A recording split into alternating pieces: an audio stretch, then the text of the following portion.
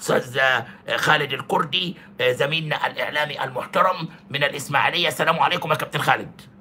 تحياتي ليك كابتن عبد الناصر وتحياتي لكل مشاهدينك ومستمعينك في كل مكان. يعني نبدأ بمحمد فوزي الذي تم اختياره رجل المباراة من قبل كل الاسماعيلويه والصفحة الرسمية للنادي الإسماعيلي. طبعا آه فرحة غامرة بعد انتهاء مباراة النادي الأهلي والإسماعيلي بالتعادل بهدف لكل منهما. آه اعاد الأذهان روعة وقيمة النادي الإسماعيلي وقيمة النادي الأهلي في مبارياتهم التي تعتبر قمة من قمم الكرة المصرية. الفرحة النهارده جاءت بعد هذا التعادل للظروف الصعبة اللي كان بيمر بها النادي الإسماعيلي وحضرتك عارفها وكل جماهير الكرة المصرية عارفاها. النهارده تألق واضح من الجهاز الفني اللي بيعمل من أجل عودة النادي الإسماعيلي مناصب التتويج والبطولات والعودة إلى أمجاد النادي الإسماعيلي مرة أخرى. النهارده مكاسب كثيرة في الشارع الإسماعيلاوي عودة الثقة لجماهير الكرة الإسماعيلاوية إن ده فريق لسه بيتكون ومن ومن الأفضل إن هو يستمر ومعاهم الجهاز الفني المحترم بقياده الكابتن ايهاب جلال مع تدعيمات هذا الموسم ليعود النادي الإسماعيلي الفترة القادمة إلى سابق عهده و... وان وإن مجلس الإدارة يترك الأمر للجنة الفنية.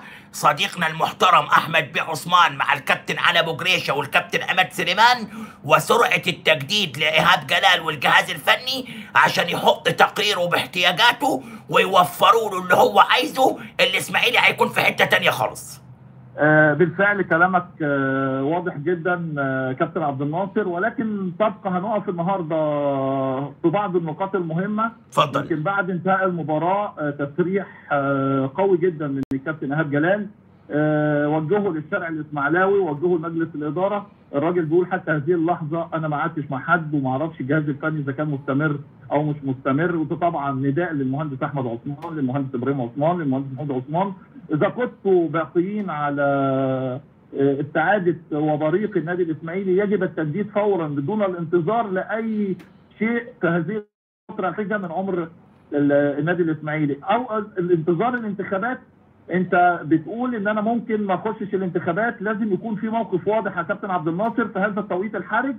إذا كنتوا أنتوا هتخوضوا انتخابات النادي الإسماعيلي وهتبدأوا المفاوضات. مع الكابتن إيهاب جلال أم هتنسحبوا من إدارة النادي الإسماعيلي ليكون الشارع الإسماعيلاوي على بينة تماما من سيقود التعاقد مع إيهاب جلال في الفترة القادمة. آه كمان عندنا تصريح ناري جدا آه إيهاب جلال النتيجة عادلة ولا أعرف التفويت أمام أي منافس والعمل طبعا آه. طبعا كابتن عبد الناصر كلمة تفويت دي طبعا مستحيل تتقال على فريق النادي الإسماعيلي أو على أي فريق مصري محترم موضوع التفويض دوت لا لا لا لا يجوز من قريب أو بعيد في مباريات كبيرة تحدد الدوري العام. النادي الأهلي النهارده النادي الإسماعيلي لعب مباراة كبيرة أمام النادي الأهلي وأكيد هيلعب مباراة أكبر أمام النادي الإسماعيلي. حتى الكابتن إيهاب جلال صرح قال لك أنا هلعب للفوز أنا ما عنديش غير الفوز أمام نادي الزمالك. ده دليل قاطع إن هو راجل حاسس بما يدور قبل قراءة أو قبل بداية المباراة أو ما يدور حتى حتى حتى حتى الموقع الرسمي النهارده بعد الفوز قال لك خلي بالك دي بلد الرجالة مش هنفوتها لك إحنا أصحاب الجلالة. يعني طبعا آه يعني يعني هو حتى الموقع الرسمي الناس بتتكلم باحترام ونادي الإسماعيلي ده نادي عريق ونادي عظيم وإيهاب جلال يا جماعة أنا دايما بختلف معاه ولكن النهارده بعترف إنه أدار بذكاء وأثبت انه واحد من أفضل المدربين والنهاردة ده ليه اسم في السوق والإسماعيلي محتاج لمزيد من التسويق عشان يعمل ماركتينج. ومش هيلاقي أفضل من ماتشين ورا بعض أهلي وزمالك. وأرجع تاني لكلام الكابتن خالد بيومي لما قال براهن على الماتشين أهلي وإسماعيلي وإسماعيلي وزمالك. ما تنسوش الكلام ده.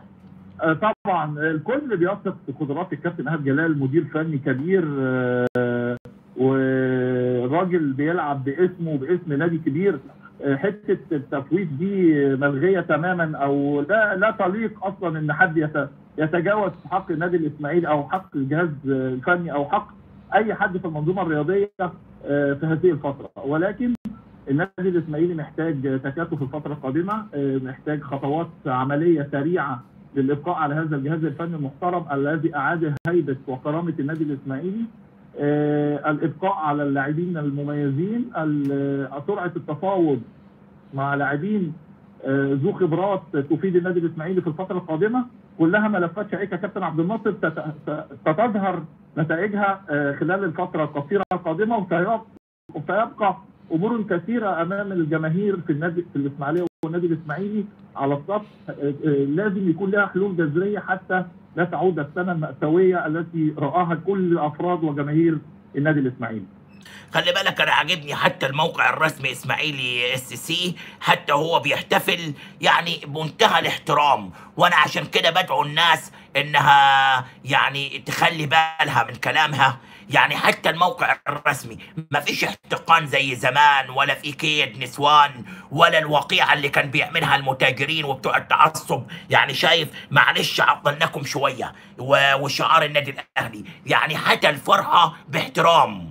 يعني شايف طب طبيعي طبيعي الاحترام المتبادل والعلاقات الطيبة ما بين مجالس الإدارات هذه الفترة اجابت كثيرا من المواقف الصعبة والمواقف والأمور المترتبة. سابقا ويبقى الاحترام هو السائد. وهو ده اللي إحنا حضرتك اللي بتدعو اليه وفي كل برامجك وفي كل وفي كل برامجك بتقول لا للتعصب. إحنا يا جماعة عايزين يبقى الرياضة عندنا فوز وهزيمة فوز فوز وخسارة.